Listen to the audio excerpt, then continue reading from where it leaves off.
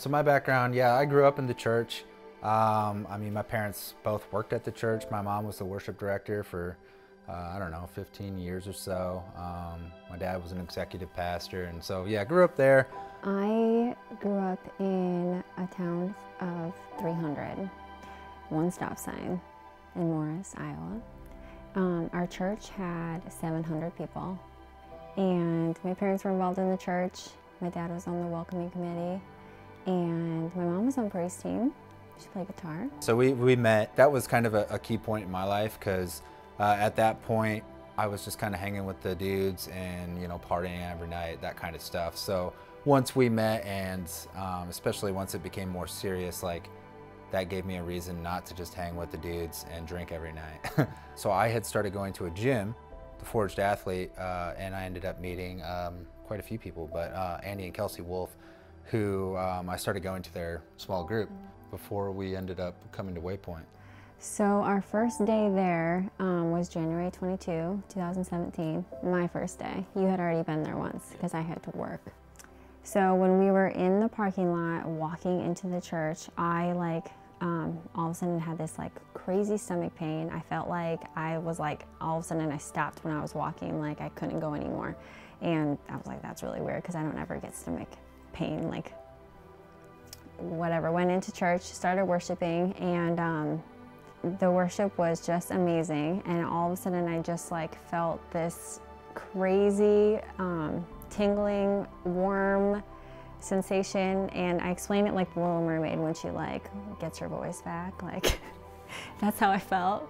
Um, and I was just like, this is crazy. I don't know what this is. And um, had a great service. Went home that day. Um, actually had to go to work that night, so I went to work and I got super sick.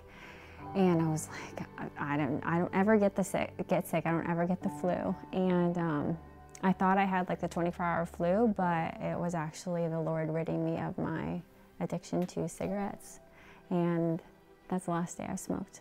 Alcohol became a really big thing in my life, and and it never really got like too bad between us, but it really, I like, I just knew, like, hey man, if I continue down this path, like, this is the path of destruction. Um, and it was just, uh, it was a void, and, and it was just a way of filling that void. And and so I'll never forget. I mean, there was one night where, um, yeah, I mean, I was just, I was blitzed, blitzed out of my mind. Um, but I knew, like, hey, this has to end.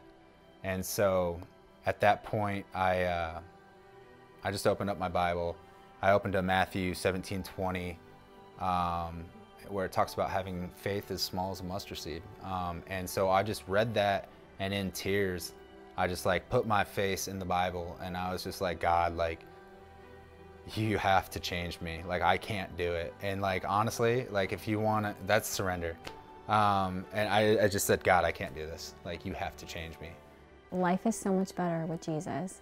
Like, I don't know how we did it without him before. Like, it's just so much better. And it doesn't need to be hard. Like, he's your friend, he's there. You just need to talk to him.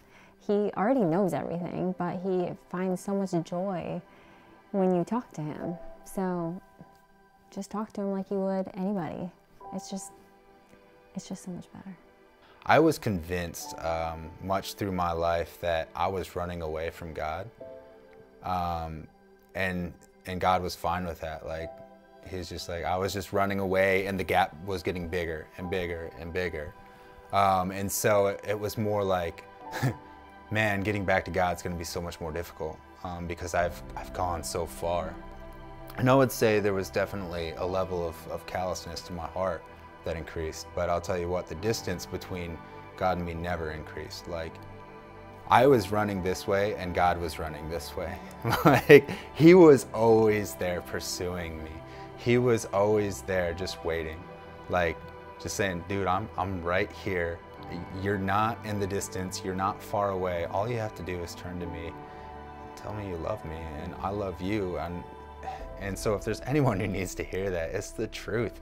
Like I felt so I felt so unworthy um, I just felt so distant. I just felt so far away but like God had, He pursued me so hard, so many times, like just more than I deserved, but He doesn't care. He just wanted to be there. He just wants to be the Father. He wants to be in relationship with us. Um, so if that's you, like, just just like turn around. He's right there. Like you don't. It's not a trek back. He's right there.